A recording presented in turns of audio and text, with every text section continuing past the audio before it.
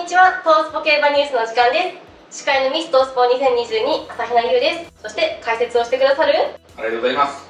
新井さんです。よろしくお願いします。しまあちょっとねあのちょっと雰囲気違うんでね。はいすみません雰囲気違うどころかはい。何出してるんですか？あこれ？書いたけど書いてやったけど。見たら分かるとこれ予想です。いやでしょうけど。そうなんでしょうけど、はい。というわけですねはい。今回あのゴールデンウィークということなんではい。柏記念柏木ね船橋。これはもうあの枠順出てますんではい、あの予想をぜひですねやっちゃいたいなとやっちゃいたいっていうかもう出てますから。そうなんですよ。そうなんですよ。あの柏記念はもともともう船橋競馬場ではこう伝統のある G1 ではい。あの JR の馬ももちろん強いんですけど、はい。そう本当に強い地方の地方所属の馬たちがこう勝ち負けを演じてきてる、はい。まあ、船橋の 1600m はい。条件で、本当にその今はもうあのゴールデンウィークの目玉、はい。うん、あの大体ね週末があの土日になっちゃうと、はい。まあちょっとずれちゃうんですけど、はい。まあ、基本的にはあのゴールデンウィーク開催の地方競馬開催の大一番はい。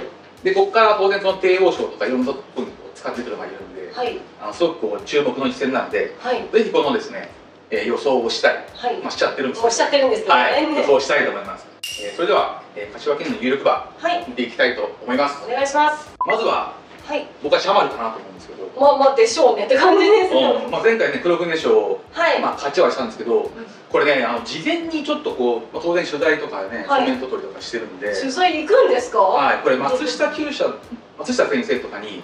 聞いたんですよ。はい。で松下さんもやっぱ正直な方なんではい。これ実はあの黒船賞の前に、はい。あのフェブラリーステークスを目指してたんですあけど、はいあちょっと賞金足らずでちょっと使えなくてあそうだったんだ除外ではいでその前にちょっとその牧場でちょっとアクシデントがあったっていう話だったんですよ。はい。え怪我ですか？は怪我みたいなところですね。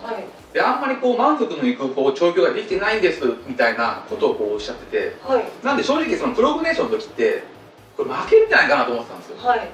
いやめちゃめちゃいいです。ね いやいやいやいやいやそう。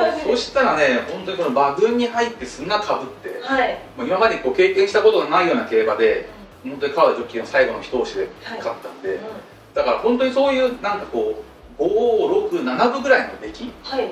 で小横西を勝ってるんでえ川田ジョッキーもねおっしゃってましたもんね。まだまだそのこれからが楽しみなそうですそうです。ね馬ですよっていうはい、まだ本当に状態も一息な感じで、はい。まあ、使いに行ってでそれでまあ勝ってしまうぐらいなんで、うん。だからこの馬の能力っていうのはやっぱりまだまだ上、はい。まだまだあるという感じなんですよね、どうですか？ひ左回りの戦力ってどうですか？ねシャープって。ね左はあ。そこも私に聞きますようんまあ折り合いに折り合いに難しいタイプじゃないんで、はい。まあ、その引っかかるとかそういうことは別にないとは思うんで、うん。まあ、有力馬の一頭なのかなと思うんですけど。そうです。ね比較的でもまあ多分右の方が多分ど遜色ないと思うけど若干右かなっていう感じもあるとは思うけど、でもそうですね。それでも左です。まあ盛岡競馬場ですけど、はね1600左回りです。ね30分だったりするのであんまり気にしてないかなっていう。感じですか？はい。思うけどどうですかね、まあ、まずはそのシャーマルかなって感じもしましたので、はい。まあ、次はやっぱり名称ハリオまあうん。帝王賞勝ってますからね。そうですね。まあフェブラリーステークスはねもうちょっとうん。うっていう感じのねまあ、一着馬が強すぎましたね。もうあったし、うんスタートね大きくつまずいてね、はい。バーってなっちゃったんで。でも出遅れたとしても三着に入ってるから、うん。もうよく立て直したなう。うん。だからあれやっぱりその直線東京直線長いんで、はい。まあ、3着まで届いたっていうのがまあうん。普通の考えかなって感じするんで、はい。でまあ、今回船橋の1600であのコーナー4つ、はい。まあ、スパイラルっていうことなんですけどはい。僕ねこれ逆にそのやっぱり前回つまずいた理由の一つって、はい絶対スタートが芝だったからだと思うんですよああそうかそうかそうですね。で今回は1600でもダートのスタートなんで、はいまあこの辺は多分その名称ハリオのはい。もっとこう能力を引き上げてくれるんじゃないかなって感じするんで僕はこれも有力じゃないかなと思うんですけど、そうですね。名称針をあの内枠うん、の勝率が60%なんですよ。えー、調べてますね ありがとうございます。202番だったらじゃあもうじゃあもう僕はもういただきで。いやいやまだまだまだ まだ物申したいこといっぱいあるんですけど。あまだなんでももちろんねうん私もその有力馬の一頭だというふうに思っているのであでもあ現状ねあの別のねこう競馬のいろんなオツとかのサイトを見るとあシャワルの方が人気なんだっていうちょっとびっくりなところもあるんですけど、成績まとまってますからねそうですね1000、4000、6とかっていうと。そうだからまあ内枠引いてよしよしっていうのもあるしまああとね阪神大商店の3着はもまあ1着馬はねあの牛バテ走路。と0.8秒差っていうことなのでまあ全然ね変わらないんだ。高かったし、うん。まあきそうだなって気持ちはしますよ。ありますあります、もう書いてますしね。あそうです 私もね。で、あの、あれ、僕はマ知識ないんで、はい。あのスピーディーキックってはい。ちょっと教えてほしいんですよ。はいまあ、僕はフェラーリしか見てないんで、はい。まあ、あの直線で前がうん。空いてたらね、はい。掲示板は絶対あっただろうっていうところがあるかなと。いやめちゃめちゃ頑張ってましたよ本これ当強いですか？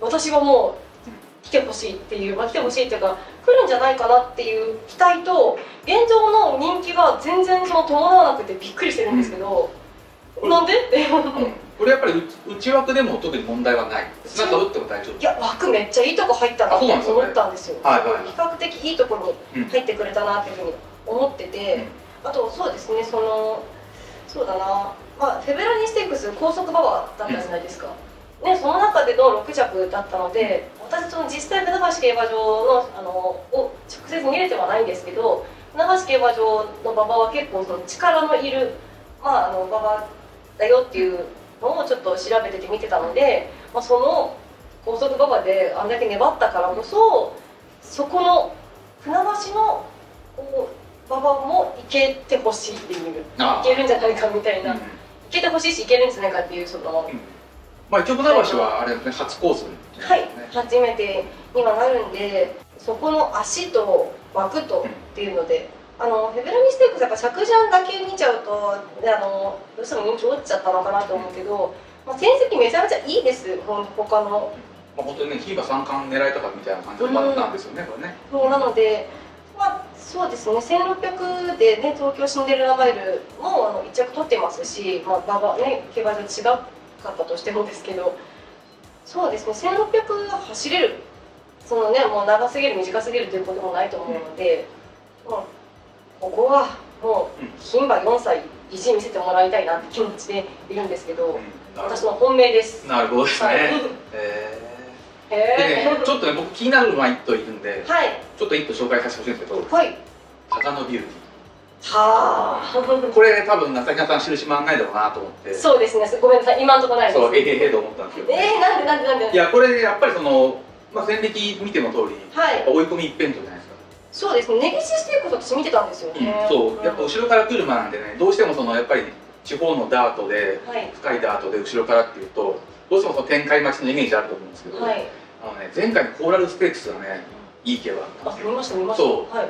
でまあこれも強さもあったし、まあ、本当にもともとこう走る走るまあタイトルはいつでも取れるぞっていう感じの馬だったんですけど、はいうん。あのちょっとタイミングの噛み合わせがなくてはい。勝てなかったんですけどあのすごく今状態も良さそうなんじゃないかなっていうはい。僕の予想が本当かどうかっていうのをですね あの今回あの西園調教師にあのインタビューがありますんではい。ちょっとそれをぜひあのご覧いただきたいなと思います。え、あのー、前走、あコーラルステークス勝った後から、もう目標をここ一本に絞ってきましたんで。前回と比べての様子はいかがですか？そうですね、前回もやっぱり鮮やかなね、芝居の足で、まあ、石橋騎手の、あの、上騎乗というか、4コーナー外回らずに、直線走路出して、瞬発力を、一瞬の瞬発力を生かす競馬をして、勝ってくれましたんで、あの、中間も、なお一層、はい。馬の状態が上がってきてます。の逆算しまして、あの、水曜日にさっとババシーウッドで流しまして、あと、あの、日曜日の日に、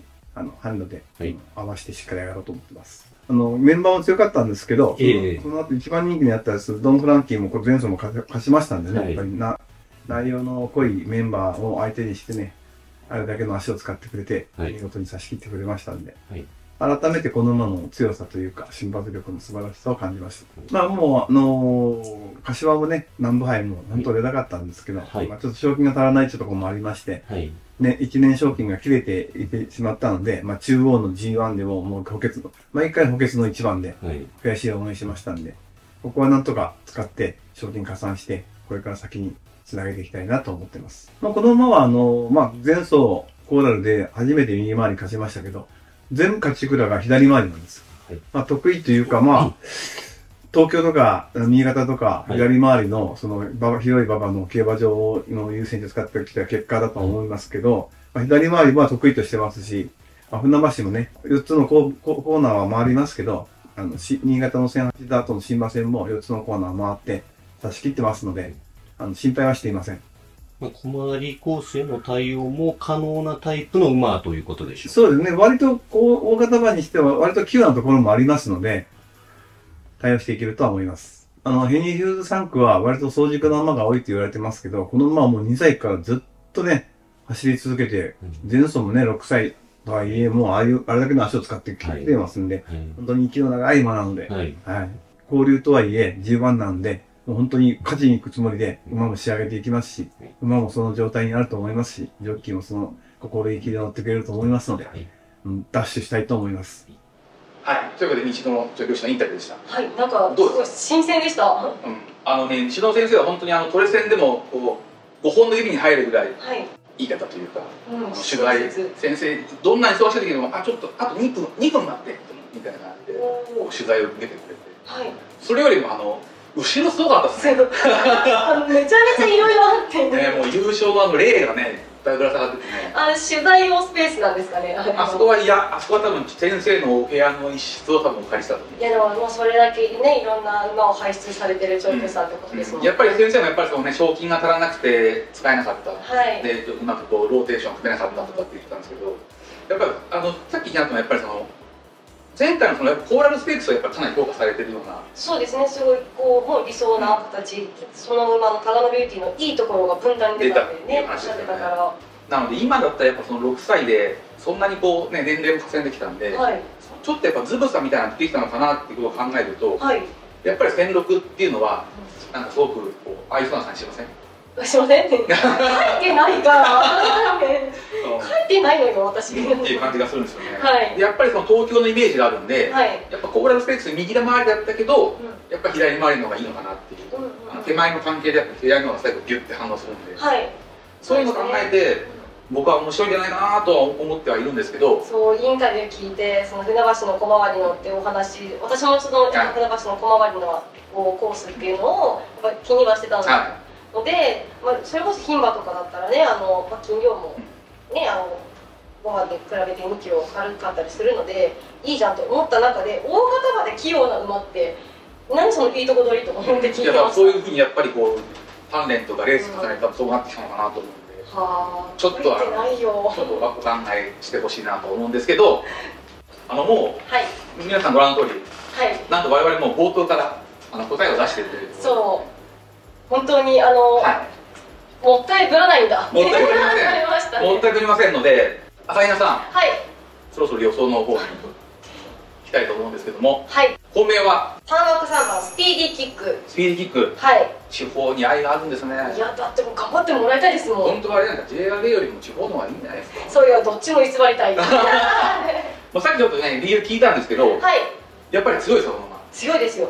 強い。もどんな競馬のイメージですか？う牝馬なんですけど、はい。本当にあの戦えるもうなんだろう力強さ。は私。私私も戦いますよ。私も新井さんと戦いますけどたくましいなっていう思いました、うん。本当に。あの過去のレースもうん。前走もそうですけどボバと挑戦になっても、オバどころかねもう JRA の G1 馬いっぱい G1 相手ですからね。そこでもあの全然引きを取らない。あの6着は素晴らしかったというかむしろ素晴らしい以上にちょっと悔しさが残っちゃったうん。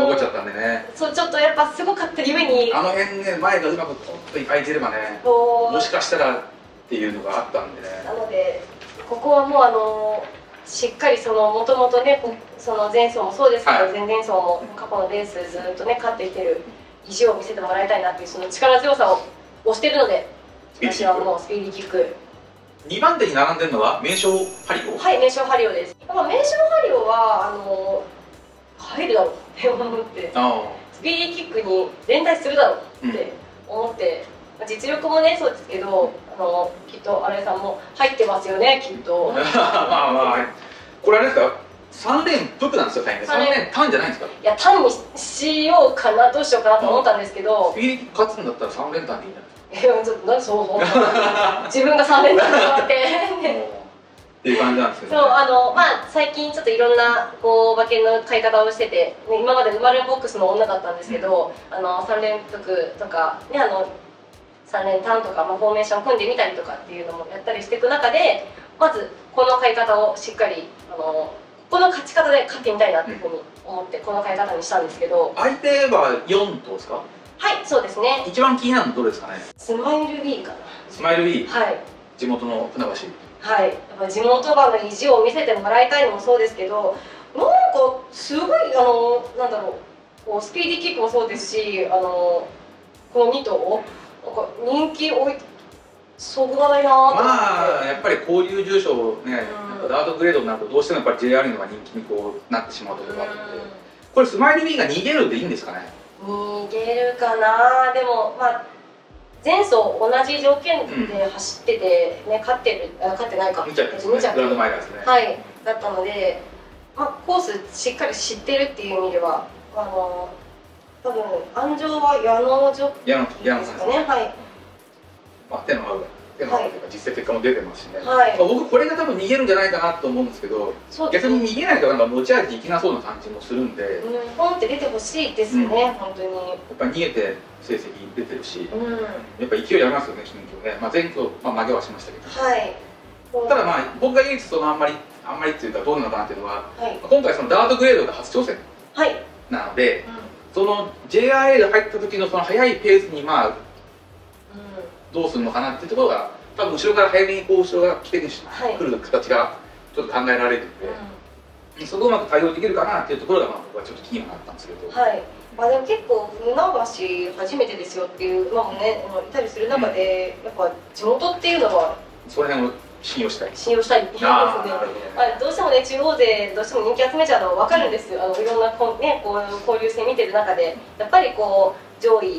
上位人気最後の、ね、こう結果、ね、中央勢だなっていうのも結構あるし昨年もそうだったんですけどうん。人気以上にしっかり実力もあるとうん。思うので、もうやっぱスマイル B はここはあの買っておきたいなと思ったんですよねこう出走表を見た時に、うん。まあ枠がねちょっと6枠10番っていうので、ちょっと遠い遠い感じです、うんもうちょっとうちの方が、良かったかなって感じですうん私的には良かったかなって思うんですけど、なるほどですね、うん、そうですね。僕はね実はねはい。もうこれやるの分かってたんではい。あの前回戦の船橋ちょっと見てたんですよ。わあずるーい。そしたらねあのね分かった。はい、うん多分。あのかなりパワーが必要で、あの外の差し馬が来る、外の差しじゃあえ待って外の先行ダメじゃまあ、ないですかうちが深いっていうかいうかわかんないですけど、とにかくその今までの開催に比べたら先行馬が意外と残れない。うん。結構パワーが必要で結構こう足が上がるような感じのシーンが何回かあったんで、はい。あの今年の柏記念は多分外枠外枠じゃない外から刺してくる馬が狙い目。えー、だからスマイル B みたいなタイプは多分苦しめられるかもしれない。前回戦見たら先に行っちゃうかなとか、でも先に行ってくれた方が間違いしてるんだけどな、っていうのとやっぱり 1600m なんで1004寄りがいいか1008寄りがいいかって考えた時にうん、うん、まあ多分両馬場だと思うんではい。乾いた馬場だったらばパワー優先なんではい。ちょっと1006より長めの距離の実績がある馬の方がいいなっていうんで、まあ、僕は迷いなく名称入るああ、うん。まあ、前走のフェブラリーステークスは、まあ、まあスタートが全てだったまあそうですねちょっと、うん。やっぱ帝王賞の内容とか見ても、うんまあ、東京大賞でも言っても3着ですし、はい。まあ、勝ったのはね世界の内馬製道そうそうですね本当に。なんで、まあ、ここは、このメンバーだったら僕はむしろ力上位うん。馬場も味方はい。するんで、僕は名称ハリオはまあ1着でいいのかな一着固定ですか？これ1着ってですね、まあ、ちょっとねあのやっぱ今ゴールデンウィークじゃないですか。はい、ここを当てないとうん、ちょっとあの NHK バルカップを買えないんで。待って待って待って待って。うん。そこそうかそうですね。なのであのもしかしたら2着があるかもっていうところを考えてはい。そのさっきおっしゃってたスピーディーキック、はい。うん。まあ、あれは多分フェブラリーステークスだけ走ればうん。うんもう JRA 相手でも負けないと負けるところはないと思うので。でそれと、まあ、僕が密かに仕込んでるーはい。高野ビューテだからこれ高野ビューティー突き抜けたら多分僕もうウキウキワイワイなゴールデンウィークですよこいやそっかそうですよね今はね。れもう余裕しゃくしゃくで週末迎えられる。やばいやばいやばい。バレーテナルナってはい。冬場はあまり良くないんですよ。えじゃあ春いいじゃないですか。だから今ちょうどいいんですよ。3月から6今月のかなり具合体調上が上がってるって話なんで、うん。まあ、これなんかいかにもその TCK 上海と N プレスが2着2着ではい。なんか勝ちきれないなみたいな感じで思うかもしれないですけど、はい。今すげえ体調上がってる話上がってる話らしいんで、うんうんうん。これは入れといた方がいいかな。入ってるか。入ってます。入ってますね、はいっていう感じですね。あとはその柏記念2着2着のソリストサンダー、はいソリスタさんそうですね。うん。うまあ、シャマルは多分人気だと思うんで、んはい。まあ、普通に考えたらこの堅実ぶりは見逃せないんですけどうん。これパワーがいる船橋のマイルははい。合わないと。思うえこの馬には。とはとか言っても馬券は入れてるんですけど。そうですよそうですよ。だからシャマルが突き抜ける早めに抜け出して押し切るっていうシーンはちょっと僕はイメージはないんで、うまあ、あえてシャマルは後ろにつけるつけさせてもらったっていうのが僕の今年の柏記念というわけで、まあ、今回柏記念ということなんであの、んはい。ご視聴の方には予想の参考にしていただければと思っております。はい。ということで、えー解説と馬券の解はい。解任好評ありがとうございました。柏記念は5月4日船橋競馬場11レースで開催されます。今週もご視聴ありがとうございました。またやりましょうね馬券対決。はい。ありがとうございました、はい、ありがとうございました